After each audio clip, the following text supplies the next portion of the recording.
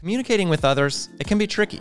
But what about when we're communicating with artificial intelligence? Do the same principles apply, or is it something completely different? Today we're talking with Impact's trainer and AI expert, Brianna Walgenbach. How's it going, Brianna? It's going. It's going. It's a good day to talk AI, oh, Austin. I'm, I'm excited to get into it. We're excited to hear your take communicating with AI. Is it similar to how you communicate with humans, or is it something completely different? You know, I think, as most things are with content marketing, is a big ol' it depends. So, the way I like to think about this is can you explain something in a super like simplistic manner to someone? Of course. Would you ask something in a super simplistic manner? Not always. But if you were talking to, say, a five year old, would that look different than if you were talking to a 35 year old? Of course it would look different, right? You're talking to a five year old versus a semi grown adult at 35. So when you're talking to a child, you break things down differently. You use smaller words, you use more descriptive words, knowing that the individual you're talking to might not really be speaking the same language as you. So we want to be as detailed as we can be, but also kind of rule of thumb treat your AI like a five year old. Don't leave any detail out. Don't assume that it knows something about your business or about your brand. And the other thing I will say on how to speak to AI, another, it depends, um, but depending on who you talk to, you may hear some different things. And I'll use a couple impactors as an example. Myself, I have found, unless I'm very polite I don't always get what I'm looking for. Now, on the flip side of that, if you ask Mandy York, another trainer that we have here, she finds the complete opposite. And if she is overly direct, not aggressive, but overly direct and factual, she gets a better result than being polite. And so the question is, well, why the heck is that? Like, if you guys are using the same AI tool, shouldn't it be the same? And so if we use ChatGPT as an example, since most people know what that is, or at least have heard of it, every time you open a new chat feature or a new chat window, if you will, is a different bot, right? So the bot that you're working with, say, if I'm asking it to write me a strong, compelling meta description, and I ask ChatGPT that, but I open another chat, ask a separate question treat those as two different five year olds because they are two different bots, hmm. right? Wow, that's super interesting um, because that is really similar to people because you talk to different people in different ways too. Where, yep. you know, if you're talking to one person, you might need to say things a certain way and then a, talking to a different person say things in a different completely different way like you said to get those results that's crazy i i did not know that and that's super cool I always do say please and thank you. It mm-hmm. feels a little strange, but it's I do too. And honestly, when I don't, I like don't get as good of results. I'm like, all right, I know. Give me the pleases and the thanks. Is there a difference between prompting, the word like prompting when people are prompting an AI, or training?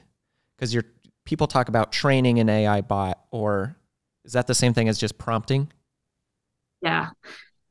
I think surface level it's very easy to assume that they're the same things, right? Because if I say, oh, yeah, I'm doing some prompt engineering, that sounds really glitz and glamoury, right? But on the flip side of that, if I say, hey, I just trained this AI bot, that's also impressive. But what the heck do they mean, right? So if I were to prompt you, Austin, with a question about what you ate for lunch, what would you tell me? I had some rice and curry. Rice and curry. Okay did that interaction involve me training you in any way on what to make for lunch or what diet to you know focus on no, no. i was prompting you with a question mm. that prompted you to respond to me mm. right very different than if you and I had a conversation where I trained you on best practices for building a healthy diet, right? Two very different scenarios. So when we think about how we speak or train or prompt our AI tool or tools of choice, they are very different, right? Prompting is saying, Hey, I've got this thing. I'm going to ask you this thing. I'm going to prompt you with some information and ask you to do a thing for me. Training on the other end is that you are feeding it, right? You're doing something that is changing that bot so that when you do get to whatever thing you want to do and you give it a prompt, it's got some background knowledge that it's already built up on so that you can get exactly what you're looking for.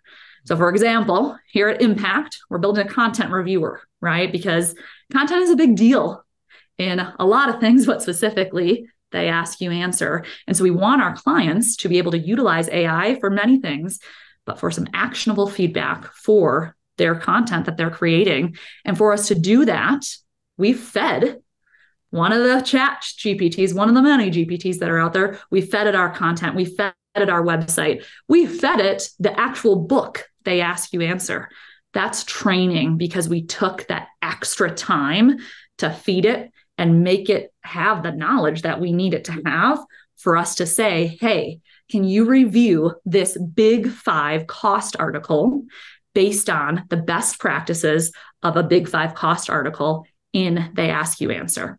If I just did that prompt with no training, it would scour the internet and find, you know, what it thought I was talking about but that might not be what I was looking for. Mm. So that's the difference is you're giving it, right? You're feeding it that info you need versus prompting. You're asking a thing and then saying, use whatever resources you need to figure out said thing that I'm asking you to do.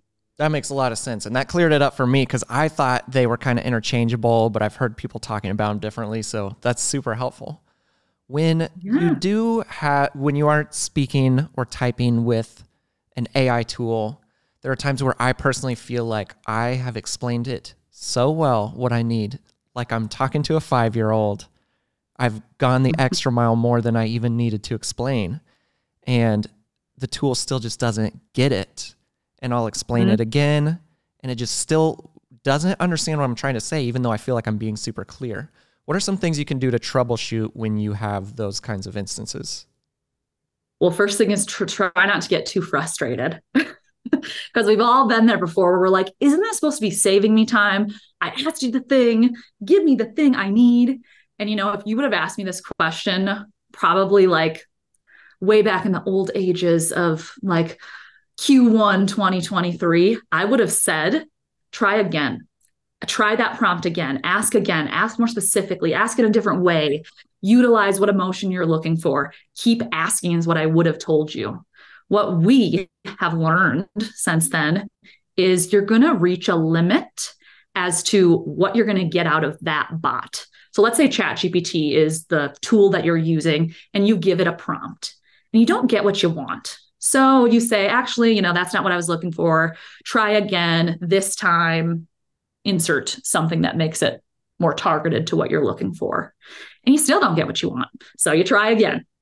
And it, you can go on and on for kind of forever and still not land on what you're wanting, which can cause you to close that computer and choose to just do it yourself, right? And it's frustrating.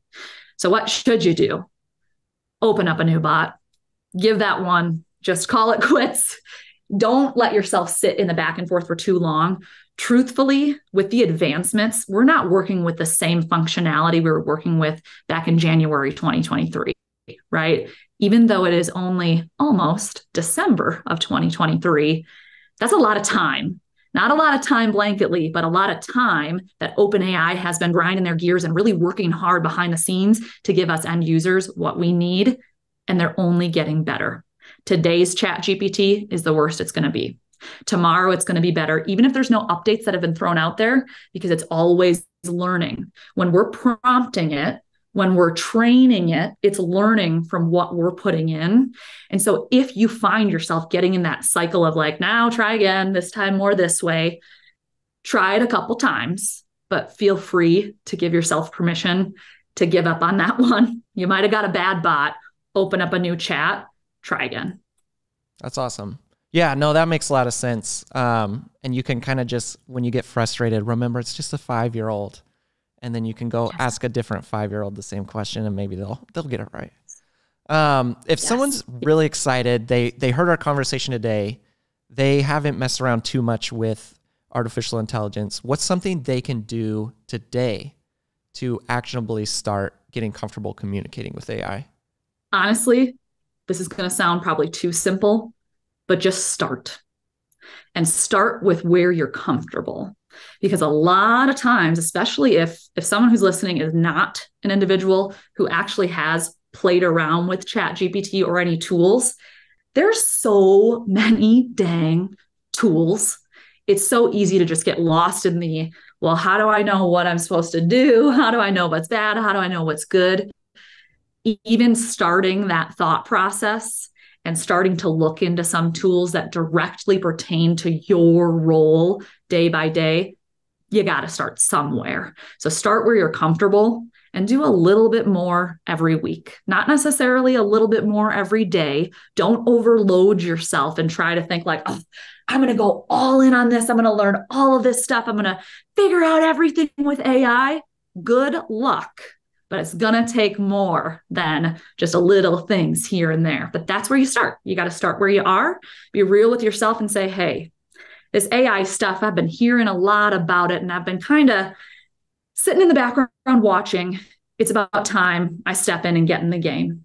And truthfully, I would say the first tool to start with, ChatGPT. Truthfully, Austin, what I'm finding is I always come back and land on ChatGPT with all the other tools that are out there, depending on what I'm trying to do in terms of accuracy and things I can actually use. I so far, knock on wood, there might be a new tool that pops out tomorrow that we're, you know, unaware of. But as it sits right now, I find myself coming back to ChatGPT all the time. And it has that comfort level that we're used to with search engines. Type in a thing, press enter, see what you get. That practice isn't different. The results are different, but that practice should put you, if you're brand new, kind of within your comfort zone a little bit um, that would definitely be an easy, I don't want to say, well, easy place to start. yeah, that makes sense. And, uh, you know, it feels like you said, Chat GPT feels very natural to what we're used to doing on a computer. And one way I found when I first started, a good way to kind of get used to it and get excited was I found that work things were a little intimidating. So I was like, I'm just going to help it plan my weekly diet. I entered some things that I was allergic to, some things that I liked, some things I had in my house. I was like, can you come up with a meal plan for this week. And that was kind of fun because it didn't have like consequences if you do it wrong. It it was just fun to do. So seeing that happen got me inspired to do some other things. So that's something you can always do as well, I feel like. Yeah, that's a great idea. And then you can kind of get comfortable knowing that like I'm just talking about recipes here or I'm just talking about Christmas shopping. One like bout of nervousness which is fair that I see a lot of our clients have is what happens with the data once I put it in there? And that's a real fear and a good one to have because we want to be cautious about what we're sharing, especially if we work in an industry that is high confidentiality, right? So I think that's a great, great suggestion, Austin, because you're right. It is more intimidating when we're talking about the professional side of our life. I don't want to do anything wrong as it pertains to work. But if I get a goofy or wonky recipe that I don't end up using, you know, there's nothing wrong or scary about that. So, yeah, start in your personal life. That's a great idea, Austin. Yeah. Well, thanks for talking with us. I know I learned a lot today and you cleared up a lot of misconceptions I had. So, I'm sure a lot of the viewers uh, had that as well. So, thanks for talking with us. Of course. See you on the next one. I'll see ya. When you and your AI tools are on the same page, your business will see the results. Need help with your AI strategy or growing your business? Reach out at impactplus.com today to start working with an expert just like Brianna.